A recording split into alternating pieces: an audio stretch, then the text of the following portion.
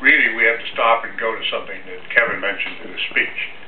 Six thousand mothers and fathers have jobs here in Humboldt Park because this community came together over the last third of a century and decided it wasn't enough to have the unemployment rate that we had in Luzerne County. The underpayment and under-income that the average family was living under 33 years ago. Many of us don't remember, but I remember well. For Congress, just 24 years ago, we stood in Wright Township, my friend here, up at the, one of the plant sites because they just closed the plant. And at that point in time, the unemployment rate in Luzerne County was 15.9 percent.